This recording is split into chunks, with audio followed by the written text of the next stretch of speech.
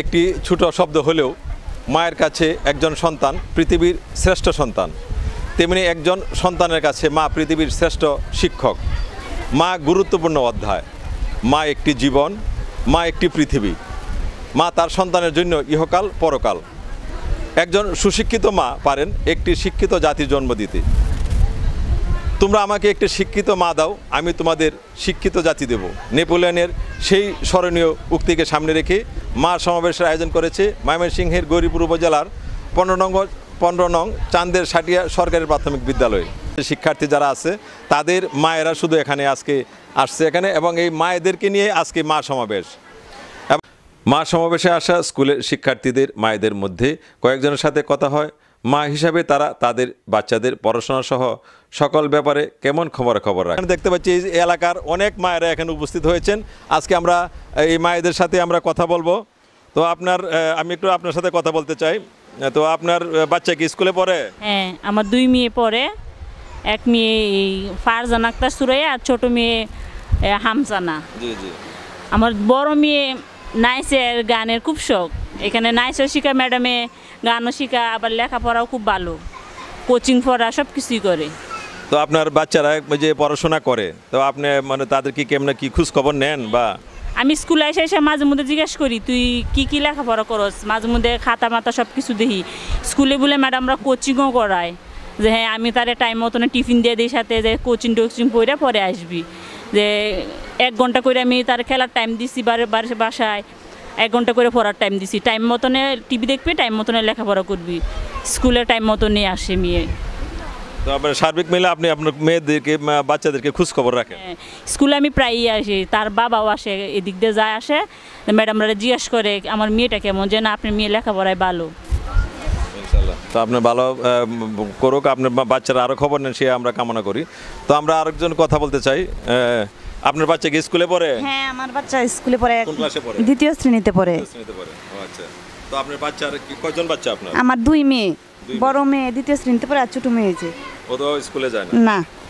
তো আপনার যে বাচ্চা স্কুলে আসে আপনার বাচ্চার কি খোঁজ খবর নেন আপনি? হ্যাঁ আমি মাসের মাসে তো ম্যাডামে খবর দেয় আমরা স্কুলে আসি। খবর নেই। যখন থাকে তখন কি তাকে পড়ান? হ্যাঁ আমি বাচ্চারে পড়াই। ক্লাসে কি পড়া দেয় দি বাড়িতে আবার বাচ্চারে শিখাই শিখাই স্কুলে দেই। পরেও কাছে কুইজ খবর লই যে ম্যাবা আমার মেয়ে কি পড়া? পারে না পারে না ডেইলি ক্লাস করে নিয়মিত আইয়ে না যায় এটাও খবর খবর রাখি। বাপ মানে বাচ্চার যে বাবা আছে তো সে কি বাচ্চার খোঁজ খবর নেয় না আপনি বেশি খবর নেয়। মানে আমি যখন বেশি আই। আপনার বাচ্চার বাবা কি করে? বাচ্চার বাবা কৃষি কাজ করে। কৃষি কাজ করে। ধন্যবাদ আপনাকে। তো আমরা আরেকজনের সাথে একটু কথা বলতে চাই। আপনার বাচ্চা স্কুলে পড়ে? হ্যাঁ পরে কোন ক্লাসে পড়ে আপনার বাচ্চা? একটা পরে ক্লাস ফোরে এক ক্লাস টুয়ে তো আপনার বাচ্চা কি? এমনি আপনি খোঁজ খবর রাখেন বাচ্চার? জি স্যার লই। খোঁজ খবর রাখেন না? ওই যে বাচ্চা যে আপনার স্কুলে পড়ে তো আপনি খোঁজ খবর রাখেন তো বাচ্চার? তো বাচ্চা কেমন পড়ে কি করে বা আর কোচিং স্কুলে ম্যাডাম কীরকম পড়ায়? আবার কোচিং আছে একটা প্রাইভেটও আছে। এবার তো তাদের সামনে সমাপনী পরীক্ষা। এই জন্য ওর খোঁজখবর রাখতে হয়। বাচ্চা ভালোই পড়ে। বাড়ি থেকে আপনি তো ওকে পড়ান? জি আমি বাড়িতে ওকে পড়াই। ধন্যবাদ। মা সমাবেশে সন্তানের প্রতি মায়ের দায়িত্ব ও করণীয় এবং সন্তানের কর্তব্যের গুরুত্ব বোঝাতেই এই সমাবেশের আয়োজন করা হয়েছে। বাইশ সেপ্টেম্বর রবিবার দুপুর বারোটায় স্কুলের হলরুমে ময়মনসিংহ জেলা তথ্য অফিসের আয়োজনে অনুষ্ঠিত এক আলোচনা সভায় জেলা তথ্য অফিসার আল ফয়সালের সভাপতিত্বে প্রধান অতিথি হিসেবে উপস্থিত ছিলেন ময়মনসিংহ জেলা সহকারী শিক্ষা কর্মকর্তা এমদাদুল হক। বিশেষ অতিথি হিসাবে উপস্থিত ছিলেন গৌরীপুর উপজেলা শিক্ষা কর্মকর্তা মনিকা পারভিন, গৌরীপুর উপজেলা রিসোর্স সেন্টারের ইনস্ট্রাক্টর মাকসুদ আরাবানু, সহকারী ইনস্ট্রাক্টর জাহিদুর ইসলাম, উপজেলা সহকারী শিক্ষা কর্মকর্তা আবু রায়হান, স্কুলের প্রধান শিক্ষক নাসরিন বিনতে ইসলাম। অনুষ্ঠানে স্কুলের শিক্ষার্থীদের পরিবেশনায় দেশাত্মবোধক গান, জারি গানও প্রদর্শন করা হয়। এছাড়াও স্কুলে প্রাক প্রাথমিক ক্লাসরুমে সংযোজনকৃত নতুন আইটেম, আইসিটি ক্লাসরুম, মুক্তিযুদ্ধ কর্নার, বঙ্গবন্ধু কর্নার, এসবের উদ্বোধন করেন আমন্ত্রিত অতিথিরা। অনুষ্ঠান শেষে স্কুল মাঠে শিক্ষার্থীদের, মায়েদের মাঝে ফলস গাছের চারা বিতরণ করা হয়। গাছের চারা বিতরণ শেষে কথা হয় কয়েকজন অভিভাবক মায়েদের মধ্যে। দর্শক মণ্ডলী চান্দের সারিয়া সরকারি প্রাথমিক বিদ্যালয় কর্তৃক আজকে মা সমাবেশের পরে এবং এখানে এই স্কুলের পক্ষ থেকে গাছের চারা বিতরণও তারা করেছেন এবং আমরা এখানে দেখতে পাচ্ছি ওখানে অনেক মা মায়েরা যাদের শিক্ষার্থী যাদের বাচ্চারা স্কুলে পড়ে তাদের কাছ থেকে আমরা শুনব। তো আপনারা কি গাছ পাইছেন এই এখান থেকে না স্কুল থেকে? হ্যাঁ স্কুল থেকে। তো এই গাছ আপনারা কি করবেন এখন? গাছের পরিচর্যা বা গাছটা আপনি কেমনে কি রাখবেন বলেন? বাড়িতে নিয়ে লাগাবো বাচ্চার মতো করে উঠাবো। মানে এটা তো যত্ন করতে হবে। এই গাছটা তো আপনার বাচ্চার মতো শিশু। তো এই শিশুকে তো আপনার যত্ন করতে হবে। ঠিক সেইভাবে আপনি কি যত্ন করবেন? হ্যাঁ। যত্ন যত্ন করব বাচ্চার মতো। তো আমি আরেকজনের সাথে কথা বলছি যে আপনি আপনি কি কেমনে যত্ন করবেন? কি এমনি কি এই? চারা যত্ন করমু লাগামু কুড়া দিমু দিয়া পরে সার লাগলে সার দিমু দিয়া যত্ন করে উড়ামু বাচ্চা লাগান। বাচ্চার মতো। হ্যাঁ। মার সমাবেশে যিনি একটি গাছের চারা পেয়েছেন এবং ওনার মেয়ে বাচ্চা এখানে স্কুলে পড়ে তা আজকে আপনি যে এখানে আসছেন বা আমরা শুনলাম আপনি নতুন একটা বাড়িও বানাইছেন। তো আপনি যে গাছ নিয়ে পরে কি করবেন আপনি বলেন? সার লাগামু ওই গাছে ফল ধরবো ফল মাঝে মাঝে বেচবো খাব বাচ্চারা খাতা কলম কিনে দিমু এই তো করমু আর কি করমু। তো আপনি গাছ তো একটা পাইলেন তো আপনার বাড়ি থেকে আপনার উদ্যোগে আরও গাছ লাগাইছেন? আরও লাগামু কিনে আনে আরও আনতাছি। আরও আরও গাছ লাগাইছেন? হ্যাঁ লাগাইছি। তো আপনি মানে আপনার বাচ্চাদেরকে তো যেমন যত্ন করেন ঠিক গাছের তো এমনি যত্ন করতে হবে। এমনি যত্ন করব। আপনি- গাছের এমনি করব। আপনি কয় বাচ্চা স্কুলে পড়ে? আমার দুই মেয়ে পড়ে। স্কুলে? জি স্যার। আচ্ছা ঠিক আছে ধন্যবাদ। দর্শক মণ্ডলী আজকে আমরা কথা বলব মা সমাবেশের যিনি আয়োজন করেছেন চান্দের সাটিয়া সরকারি প্রাথমিক বিদ্যালয়ের প্রধান শিক্ষিকা নাসরিন বিনতে ইসলাম আমাদের সাথে আছেন। তো আজকে আপনার যে স্কুলে মান- মা সমাবেশ করলেন সেখানে আপনারা মানে মাদের উদ্দেশ্যে কি কি বলতেছেন এবং আপনার স্কুলে যে একটি আধুনিক স্কুলের যে আমরা অনেক কিছু আমরা কার্যক্রম দেখতে পেলাম, তো সেই সম্পর্কে আমরা আপনার কাছ থেকে কিছু জানতে চাই। ধন্যবাদ ফারুক ভাই। আসলে আমি প্রায় প্রতি মাসে মা সমাবেশ করি এবং আমার ডাকে মা যারা আছেন সবাই সাড়া দেন এবং আমি আসলে তাদের প্রতি খুবই কৃতজ্ঞ তারা আসেন। আর আজকে আমাদের মেনলি চার পাঁচটা প্রোগ্রাম ছিল। একটা ছিল মুক্তিযুদ্ধ, বঙ্গবন্ধু কর্নার উদ্বোধন, তারপরে আইসিটি কক্ষ উদ্বোধন এবং প্রাক প্রাথমিকে প্রাক প্রাথমিক যে হ্যাঁ ক্লাসরুম ক্লাসরুমে আমি নতুনভাবে আরও কিছু ডেকোরেশন করেছি, সেটা উদ্বোধন করেছি এবং বঙ্গবন্ধু কর্নার আলাদাভাবে করেছি। তো মাদের আসলে সচেতন করার জন্যই আমার এই ব্যতিক্রমী আরেকটা আয়োজন ছিল, গাছ বিতরণ উৎসব। মানে প্রত্যেক মাকে আমি একটি করে ফলজ গাছ দিয়েছি আজকে তারা যেন এই গাছটা বাড়িতে রোপণ করে এবং এই গাছের সুফল সম্পর্কে তারা জানে এবং শিশুর মতো ওই গাছের যেন যত্ন করে।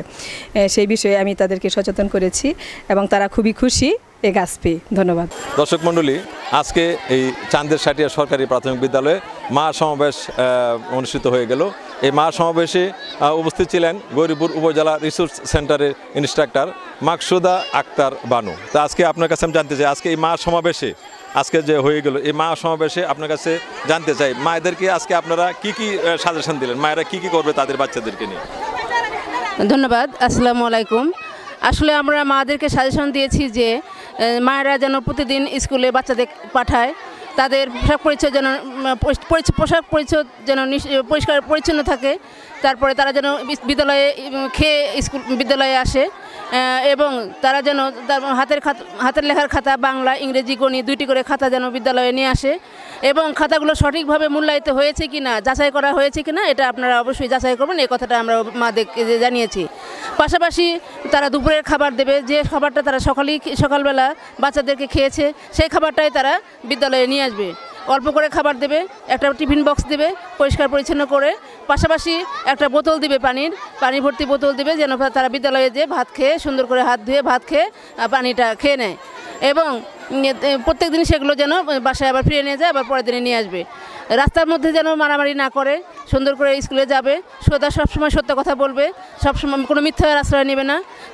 তারপরে হচ্ছে কারোর সাথে কোনো না, মারামারি লিপ্ত হবে না। নিরাপদভাবে রাস্তা পার হবে শুদ্ধ করে কথা বলবে। তারপরে হচ্ছে স্কুলে যে ম্যাডাম নির্দেশনা দেবে স্যাররা যে নির্দেশনা দেবে সেই নির্দেশনাগুলো যেন অবশ্যই ফলো করবে। বাড়ির যে কাজগুলো দেবে সে বাড়ির কাজগুলো তারা যেন তারা যেন অবশ্যই নিশ্চিত করে। এবং মারা যেন মাদের প্রতি আরও অনুরোধ যে বাচ্চারা যেন নিজের কাপড় নিজেই পরিষ্কার করে, কারণ বাচ্চারাই জানে যে কোথায় তাদের, কোথায় অপরিষ্কার। সেই কাপড়গুলো বাচ্চারা পরিষ্কার করবে, যদি না পারে, সেক্ষেত্রে মায়েরা সহযোগিতা করছে। তারা যখন বাথরুম ইউজ করবে, অবশ্যই তারা স্যান্ডেল পরে বাথরুমে যাবে এবং বাথরুমে পর্যাপ্ত পানি ব্যবহার করবে। বাথরুম থেকে বের হয়ে হাত সাবান দিয়ে ধোবে এবং খাবার আগে হাত ভালো করে পরিষ্কার করে ধুয়ে নেবে। সাবান দিয়ে অবশ্যই হাত পরিষ্কার করে ধুয়ে নেবে। তারপর খাবে। তারপরে সকাল, বিকাল তারা যেন অবশ্যই দাঁত মাজে, খাবার পরে শোয়ার আগে যেন দাঁত মাজে নিজের বই খাতা নিজেই গুছিয়ে রাখবে। এটুকুই আমার ছিল আসলে গৌরীপুর উপজেলার আজকের মাস সমাবেশে, চান্দের চান্দেশাটিয়া সরকারি প্রাথমিক বিদ্যালয়ের মাস সমাবেশে আমার নির্দেশনা। তো সকলের জন্য অনেক অনেক ধন্যবাদ এবং শুভকামনা জানিয়ে আমি আমার বক্তব্য এখানে শেষ করি। ধন্যবাদ আপনাদেরকে আসসালামু আলাইকুম।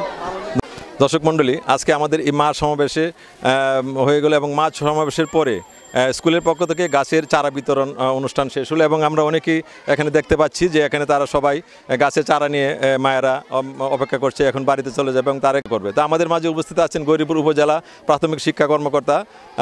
উনার সাথে আমরা একটু কথা বলব যে আজকে যে মা সমাবেশ হয়ে গেল, তো আপনার এই মা সমাবেশে আপনার আরও অভিভাবক যারা আছে, আমাদের দেশে বিভিন্ন স্থানে অভিভাবকরা আছে তারা আমাদের এই অনুষ্ঠান দেখে তারা জানবে অনেক কিছু। তো আপনার কাছ থেকে আজকে মা সমাবেশ সম্বন্ধে আমি কিছু জানতে চাই।